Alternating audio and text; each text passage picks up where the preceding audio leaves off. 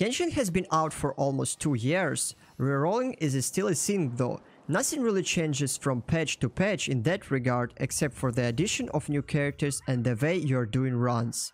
I did this huge inquiry containing 150 reroll attempts during 3 different patches from 2.7 to 3.0, including the last one because the question is it worthwhile to reroll in 2022 remains open. By the end of this video, you'll get an answer to that. Hi, I'm Oberon. I just finished these reroll runs. Most of them I did live on my Twitch channel, so make sure to check it out. In this video, you'll get a complete view of rerolls. Based on my experience, I'll try to answer all related questions and will make it clear for everyone. I will also provide you with the best value for time reroll guide nowadays. Smash the like and subscribe buttons and join the action. Some part of this video may not be in the best quality, since those are votes from Twitch and they're 720p. Let's go!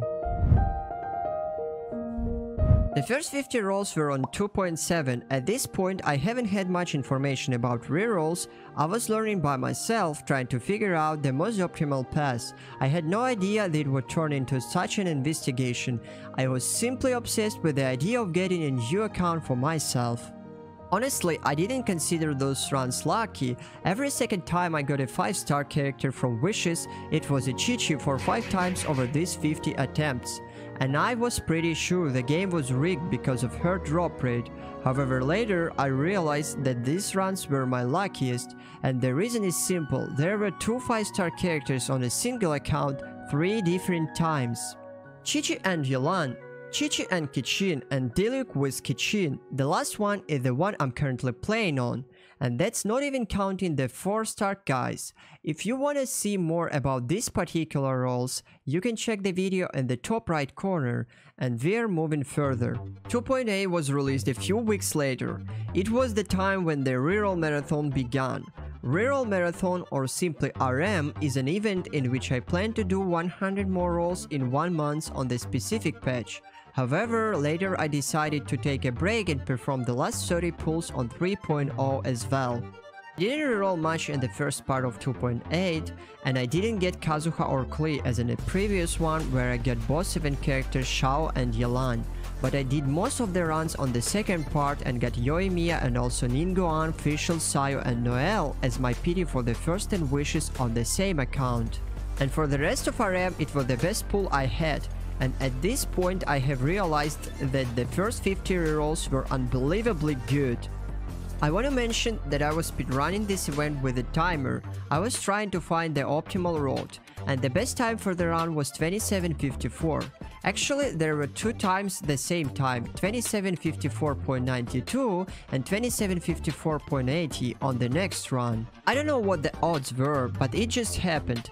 Not to mention that beating this time requires lots of conditions to be met, such as the second Anemo character for the stamina consumption buff. Whoever was stream saw that. In the last 30 runs in 3.0, I wasn't that lucky and I didn't get any even character.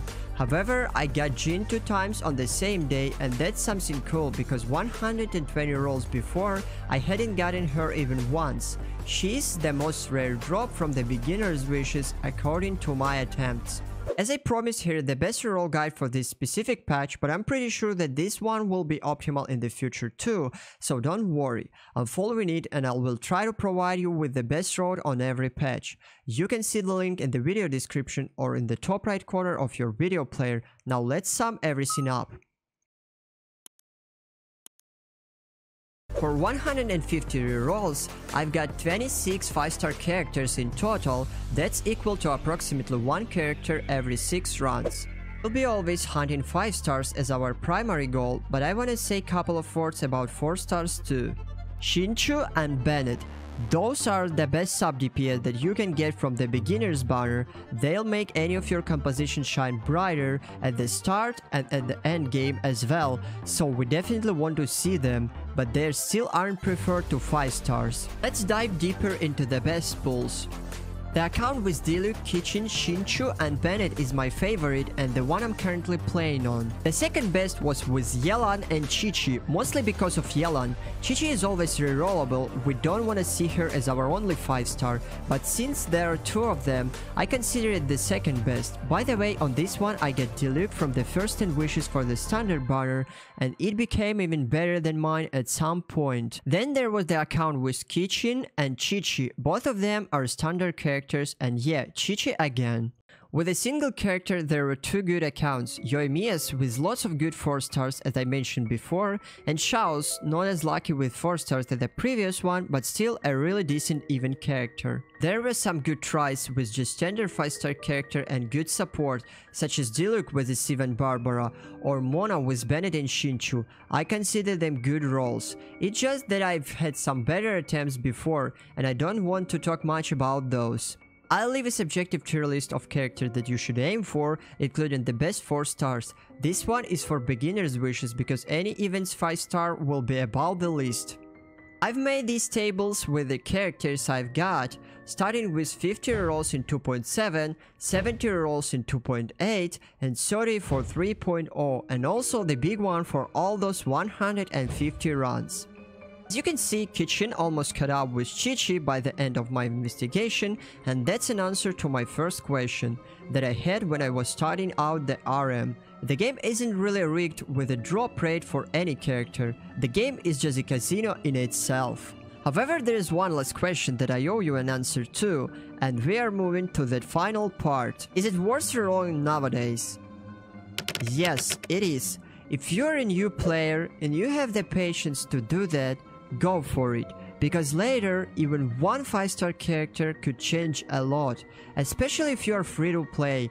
It is a must for free to play. Or even if you are not a new player but rerolling could bring some fun and make you enjoy the game, because for example you don't like your current account, then you should go for it too. In any case, the final decision is on you. I did these rerolls and I'm sharing them with you, so you can look at them and decide to go through all of this or not. You have to remember that it requires lots of patience and sometimes RNG can be cruel, but if you are able to overcome it, you'll be rewarded in the end. I hope I made it clear to you. Anyways, if you have any remaining questions, feel free to ask them in the comment section. And don't forget to thumbs up this video. I want to make an announcement too, there will be a cool event soon that I'm going to do on a weekly basis. I believe it's something wicked and crazy. This is going to be absolutely epic and if you don't want to miss out on this, make sure to subscribe to my channel. Later!